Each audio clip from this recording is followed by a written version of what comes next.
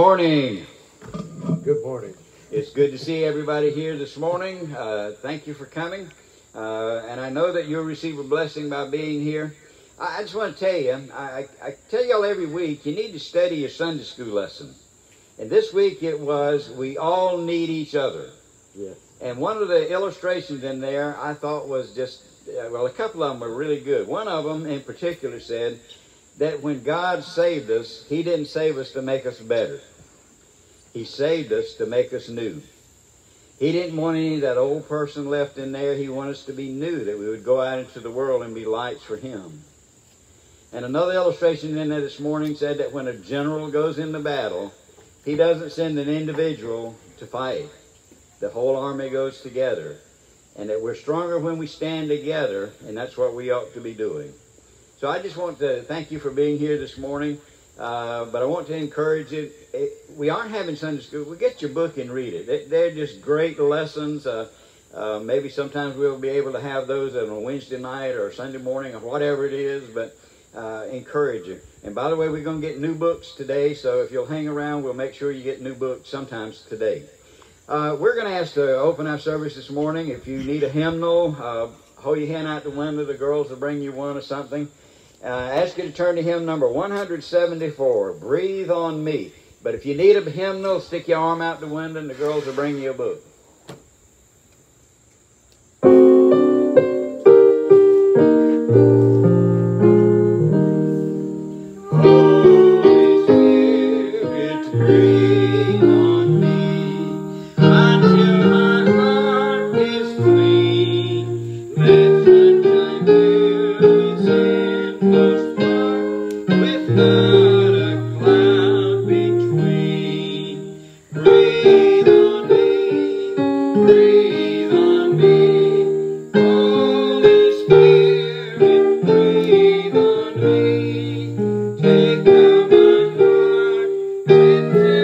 Part.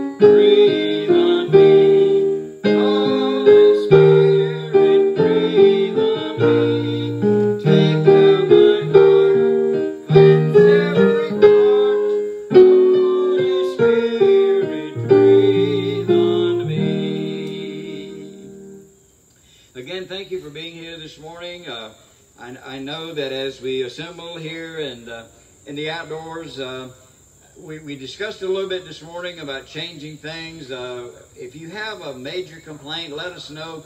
Uh, most of the folks are happy with the time, but if you have a reason we you think we ought to change it, we're certainly willing to listen and talk about it.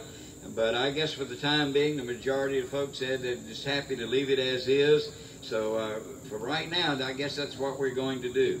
But if there is a major conflict, if you'll let us know, certainly we'll, we'll work with uh, whatever we have to do. Uh, before we go any further, though, I do want to go to the Lord in prayer. I know each of us have some needs in our heart, uh, some things to be thankful for, some blessings that we've asked for others and for our church, for our pastor search committee, and so many needs that we can think about in our families or in our communities. And of course, our nation and the pandemic, there's so many things that we could pray for. And so this morning I'm going to lead, but I'm going to ask if you would, where you are, you pray for those needs and uh, desires that you have in your heart. But most of all, pray that as we go out into the world, that others will see Jesus living in and through us. Father, we give you thanks that you've allowed us to assemble in your presence again. And as we're here this morning, we know that there's so many cares and indifference that come into our hearts and lives that sometimes we lose our focus that we're ambassadors for you, living in a world that our light ought to shine out into the darkness.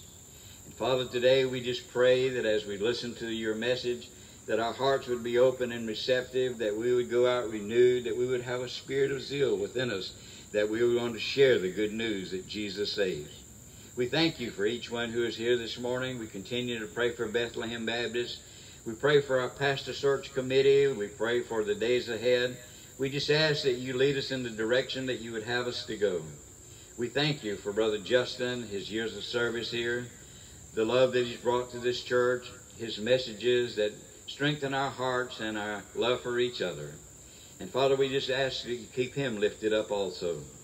But we pray for each member of this church, Father, that we would think about we need to be one in the Spirit, a church that's united, a church that will be strong as we pull together, that we would pray, that we would worship, but most of all, that we would seek to do your will. And Father, we pray that as you lead us, that we would pray that the things that we do would bring honor and glory to you. We ask all of this in your holy and precious name. Amen. We're going to uh, ask again if you have a hymnal, turn to hymn number 94, At the Cross. Hymn number 94.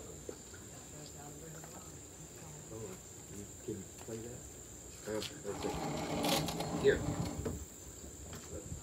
Sorry.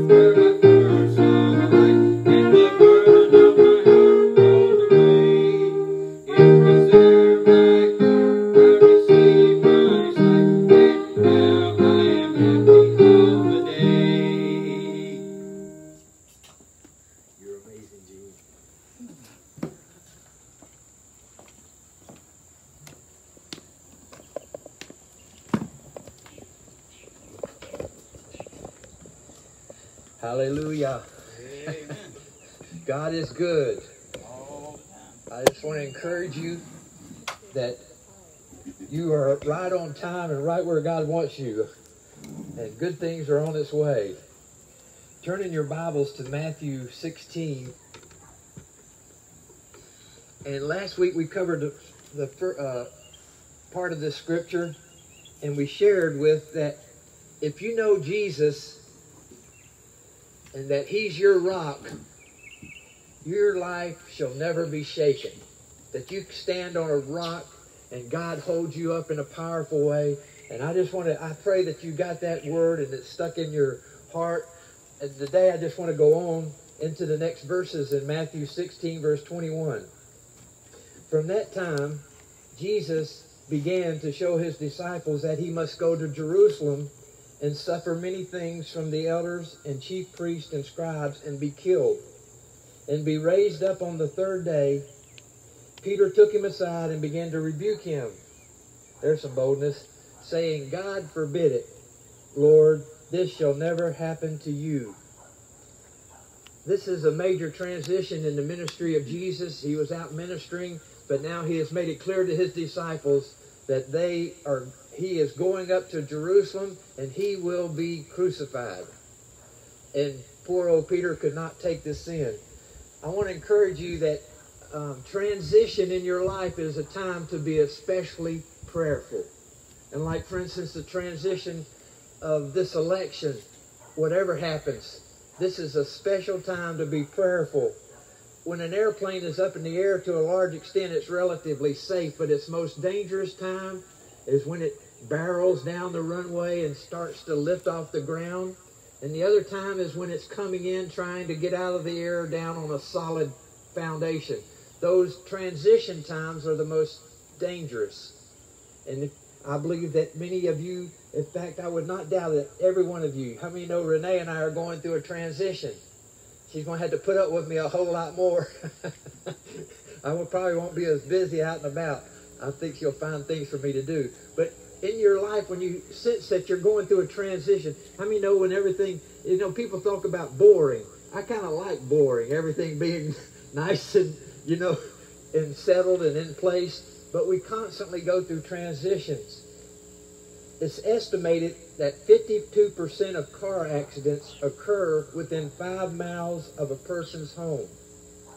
I think many times you're getting in the car, you're playing with the radio, you're trying to get your mirrors right. Uh, here lately, I, my Lexus has been parked outside. I've had the little Z car in the garage, and so I take off and look out the back window, and it's all fogged up. 52% of accidents occur within five miles of a person's home. Of course, you're going home and you're thinking, I got to do this and this, and you're not paying attention. I understand in Vietnam that the vast majority of our U.S. soldiers lost their lives in the first couple months and the last months of their tour, once they got settled in. So I want to encourage you that there, you can take from this lesson that you're going to have transitions, and this is a special time to be in prayer. 77% of accidents occur within 15 miles or less of home. So I just want to encourage you during transitions. From that time, Jesus began to show his disciples that he must go up to Jerusalem and suffer many things from the elders and chief priests and scribes and be killed and raised up on the third day. Peter took him aside. That's good. How many know you don't want to get in people's face? Do your best to do a Matthew's 18 Go to that person individually and talk to them about an issue. Peter did this, but I think he was stepping out of his um, area when he rebuked the Lord and said, Forbid it, Lord, this shall never happen. I want, I'm praying about this. I want to encourage you that sometimes in history, God has a timetable. And when that timetable comes to, to take place, all your grit and will and ambition and what sometimes sometimes we feel like we come to a point in life that we can control things. But when we get closer to the return of Jesus Christ, there are certain things that are prophesied. For instance, a one world government. Now, I believe we should do everything we can to stand for, you know, to do, have a, seek a good government and things. But if these things start taking place, if you can tune into God, even though all hell breaks loose around us, you can know that this may be God's planning for this situation.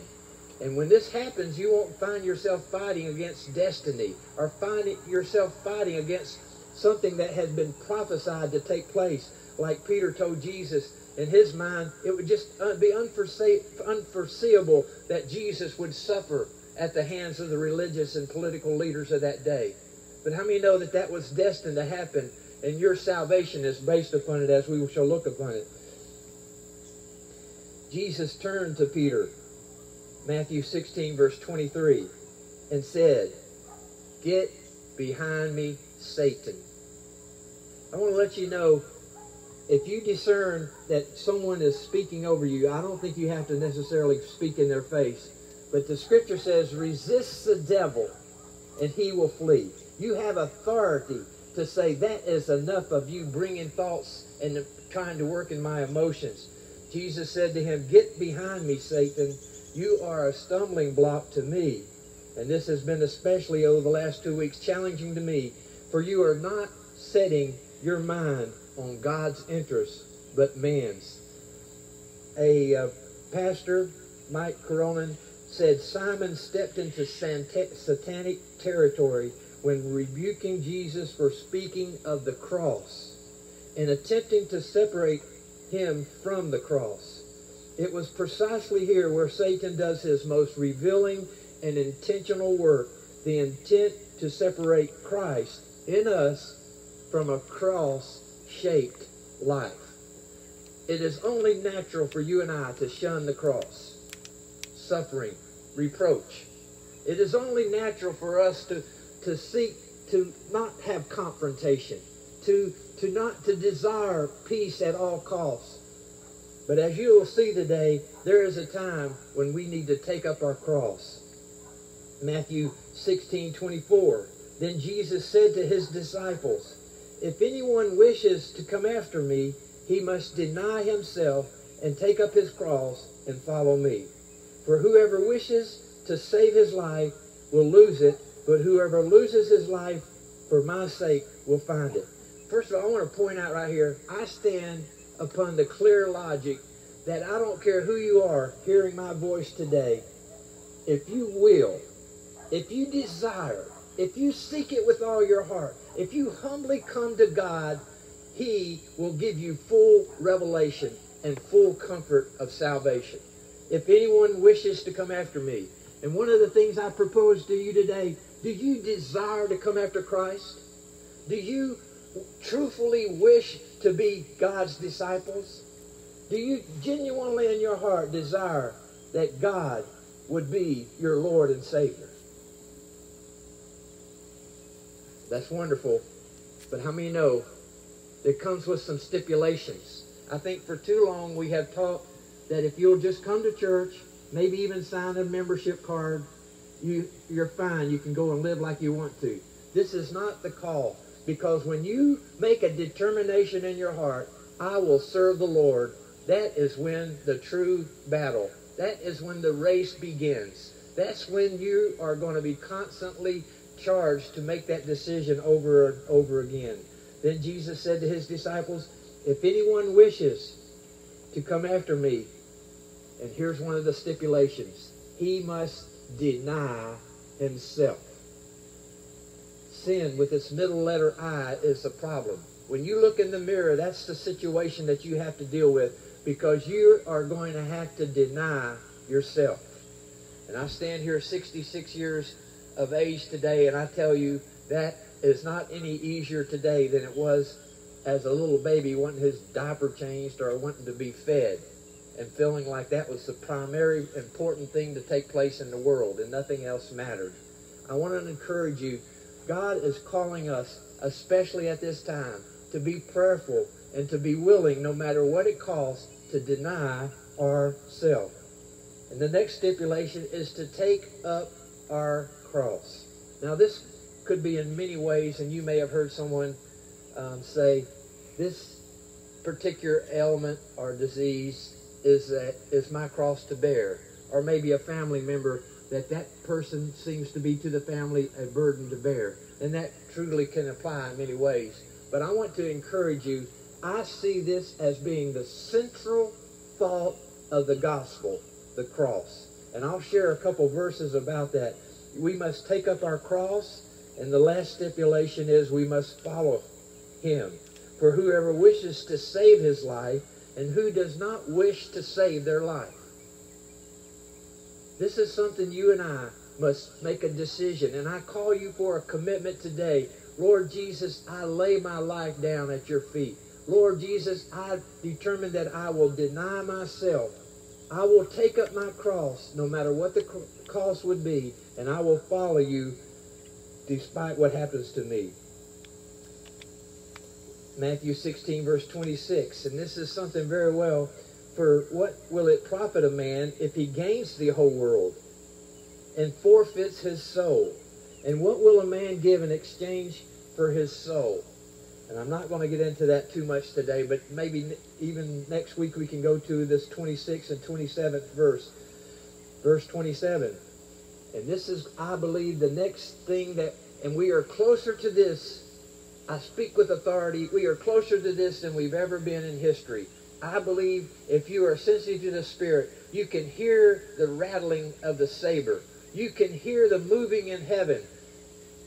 For the Son of Man, Jesus, is going to come back to this earth. He came as a baby in a manger, but he is coming back as Lord of Lords. He is coming in the glory of his Father with his angels, and he will then repay every man according to his deeds. I'm sorely tempted to keep you here and preach two sermons to you today, but maybe we'll put that over till next week. Let's go back to verse 24. Matthew 16, 24. Then Jesus said to his disciples, If anyone wishes to come after me, he must deny himself and take up his cross. In Numbers 21, 9, the children of Israel wonderfully were delivered from 400 years of oppression. Generation after generation, they were oppressed by the Egyptians. God miraculously pulled them out by the hand of Moses. And he brought them into the wilderness. And what we understood could have been a, a couple weeks journey turned into another 40 years where all the adults had to die off. But during that journey, in fact, let me, I would like to read sort of the context of this Numbers 21. After many victories, and Israel vowed to the Lord, Numbers 21 2, and said, If you will indeed, indeed deliver this people into my hand, then I will utterly destroy the cities. And the Lord listened to the voice of Israel and delivered up the Canaanites, and they utterly destroyed them and their cities. So the name of that place was called Hormah. Verse 4 then they journeyed from Mount Hor by the way of the Red Sea, the children of Israel, during this 40-year journey, and they're to go around the land of Edom. And the soul of the people became very discouraged on the way. And this goes back to a transition. Many times you're going through a period. I think about many of the children not seeing their friends at school and different things, how challenging that must be for families. We become discouraged and the children of Israel became discouraged. Be very careful. Listen. And the people spoke against God and against Moses. Be very careful. Why have you brought us out of Egypt to die in the wilderness? For there is no food and no water, and our souls loathe this worthless manna, this bread from heaven. They got tired of it. How many know this is so self? This is so us. I hope you see, you realize that many times the conflicts that you face in your family and situations is based because we do not deny ourselves. Verse 6 So the Lord sent fiery serpents among the people, and they bit the people, and many of the people of Israel died. There is a consequence for decisions that we make. Verse 7 Therefore the people came to Moses and said, We have sinned, for we have spoken against the Lord and against you. Pray to the Lord that he will take away the serpents from us. And I believe this is no question in my mind. These serpents are a example of sin, of our selfishness. Therefore the people came to Moses and said, We have sinned, for we have spoken against the Lord and against you. Pray to the Lord that he take away these fiery serpents from us. So Moses prayed for the people. Verse 8 of Numbers 21. Then the Lord said to Moses, Make a fiery serpent and set it on a pole. And it shall be that everyone who is bitten, when he looks at it, shall live. So Moses made a bronze serpent and put it on a pole. And so it was if a serpent had bitten anyone. How many know they still had the pain of the bite? If the serpent had bitten anyone, when he looked at the bronze serpent, he lived. The next time I, you see a, a nurse and they have a pin on, I encourage you to look at their pin. Many times it will be a bronze, a snake on a post. In John chapter 3, you're super familiar with John 3.16. Let's go back to the verse 14. Just as Moses lifted up the snake in the wilderness. This was something that God set in place that Moses put up a standard with a bronze emblem of the snake. And when you or I in this situation were bitten by snake, they could look at this thing and God supernaturally gave them protection, healing, and I believe comfort as well. Just as Moses lifted up the snake in the wilderness, listen, so the Son of Man must be lifted up. Verse 15, that everyone who believes in him, and this is where there's a call for action in your life. When you realize a transition, when you realize that you are caving into a weakness, a sin, what I am convinced that every person God takes them through steps after step after step. He has something in front of you that you have to master. There is something that you face as a challenge, and an attitude, emotion. It could be a, a, a, a vast variety of things that we're facing. Health issues, uh, situation with finances in some cases, something that weighs heavy upon your heart that you feel the weakness. And you, you felt this weakness so many times and you've gone back to the Lord that you feel just almost like you cannot bear to go to the Lord with it again. I want to encourage you, everyone who believes in Him and goes to Him and to as many as call upon the name of the Lord shall be saved. And I believe Satan does everything he can. How many you know there's people in this community that were once very active in church? And you know them personally. You know them. What happened? I want to let you know Satan tricked them. Satan came and he stole and lied to them. And I, today I want to encourage you, there's going to be a continual falling away according to scriptures. There's no way around it. There's going to be some tough times. And here's the scripture. The love of many will grow cold. And I believe every person here can sense that they have gone through a situation, uh, especially if you're driving down 20 during this construction change. In your job, in your own personal relationships at home, there's been a time when you, your love got kind of weak and you felt a little angered and you felt a little upset. That everyone who believes in him may have eternal life. And here's a verse, say it with me, John 3.16.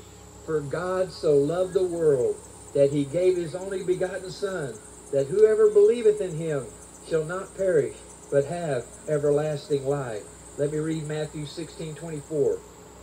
Then Jesus said to his disciples, If anyone wishes to come after me, he must deny himself and take up his cross and follow me. And one of the things I am convinced, well, towards the end here, we're going to sing, When I Survey the Wondrous Cross, when you meditate and think on the cross, you take up your cross and you analyze and think about what God has done for you.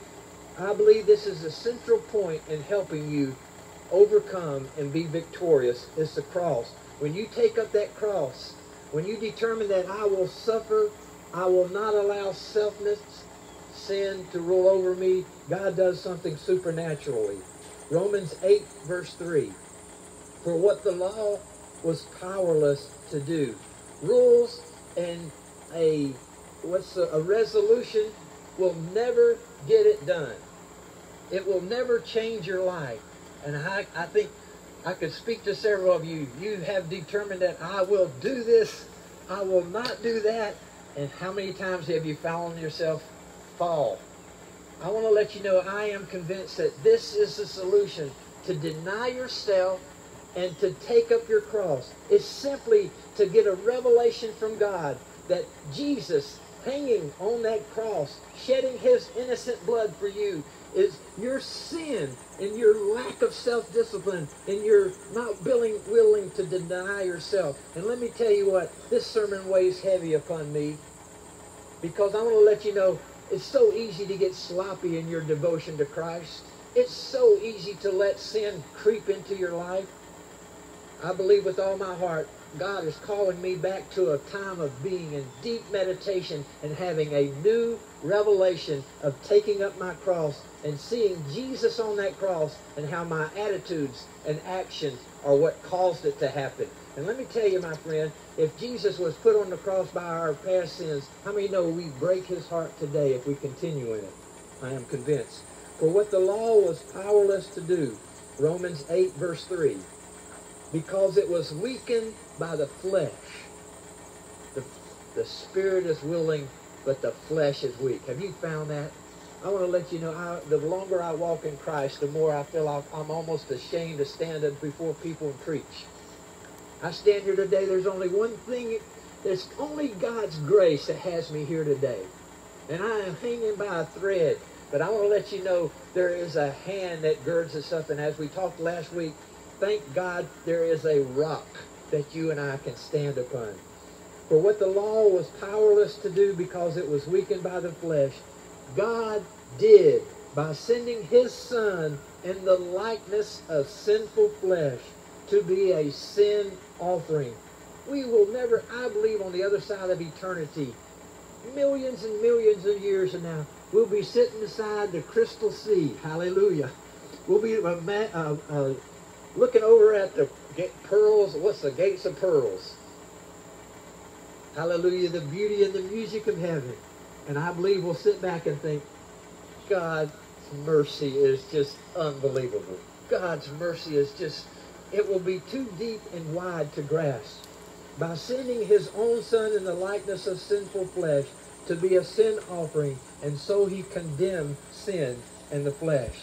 Let me read Matthew 16, 24. Then Jesus said to his disciples, If anyone wills, if anyone wishes to come after me, he must deny himself and take up his cross and follow me. If you see whatever challenges you have being something associated with the cross, there is power, precious power in the blood. 2 Corinthians 5, verse 17. I know you've heard this verse, I believe. Listen again. Therefore, if anyone is in Christ, he is a new creature.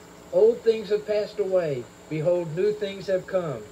Now all these things are from God, who reconciled us to himself through Christ, and gave us a ministry and a desire for others to be reconciled.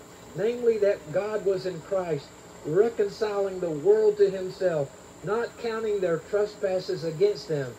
And he has committed to us this word of reconciliation verse 20 of 2 Corinthians 5. Therefore we are ambassadors. I officially appoint every one of you as being an ambassador into this old dark world. Therefore we are ambassadors for Christ as though God were making his appeal through us. We beg you on behalf of Christ, be reconciled to God. Verse 21, he made him who knew no sin to be sin on our behalf. These are words, but if you get a revelation of the cross, if Justin will get a new revelation of the cross, I want to let you know that is the way to a higher plane. I believe when if, if you get a new revelation of the cross and Jesus upon the, the precious innocent Lamb of God upon the cross, that is the power that stops Satan in his tracks. In fact, you can meditate upon this. Satan cannot cross the blood of Jesus Christ. When you have the precious blood and the understanding of what he has done for us, it empowers you. It allows you to understand the schemes of the devil. He made him who knew no sin to be sin on our behalf, so that we might become the righteousness of God in him. Matthew 16, 24. You've heard this before today. Then Jesus said to his disciples, Anybody who wants to, come after me. You must deny yourself and take up your cross and follow me. Hebrews 12, verse 1. Therefore, since we have such a great cloud of witnesses surrounding us, let us lay aside every encumbrance and the sin which so easily entangles us. If you get a vision of the cross and then you realize that you have a weakness in an attitude or an emotion or some situation that you know is not lining up with God, that cross, vision of the cross, has the power to come through and give you a will and a motivation to rise above it. And I believe with all my heart, it's simply by the children of Israel seeing that bronze standard and this serpent upon it.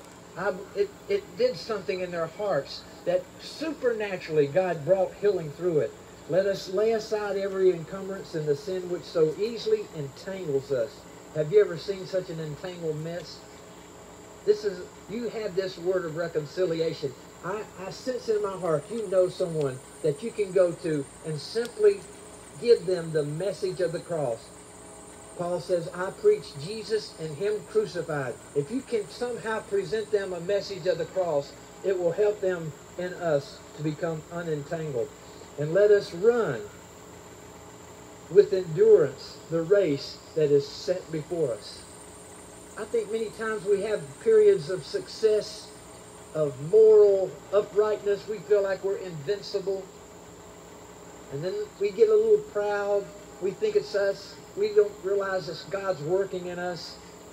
We have to run this race with endurance. And I call you forth. I don't know where your standard or situation is, but I believe God has us a higher plane, a more effective witness for us.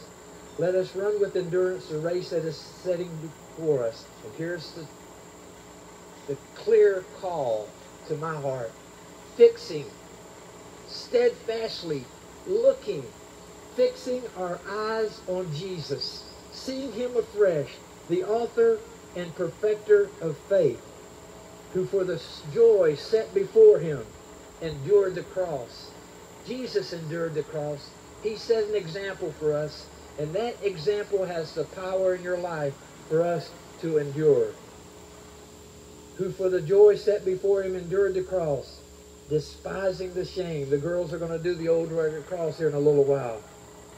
Despising the shame, and he has sat down at the right hand of the throne of God. I want to encourage you. This is a clear solution to every one of our problems, our weakness, our failures. I believe if we will get a clear revelation of the cross, if we will intently, what does it say, fixing our eyes on Jesus, there is a victory for every one of us. And how this world needs to see Christians walking in victory, to see us with a new love in our hearts, with no bitterness or unforgiveness. I just encourage you and I encourage myself, let's draw near to God like never before we are going to do uh, When I Survey the Wondrous Cross. I so encourage you, get your hymn books. Wave at these young ladies if you don't have them. Page 99. Look at the words of this. I believe there's a solution there for you.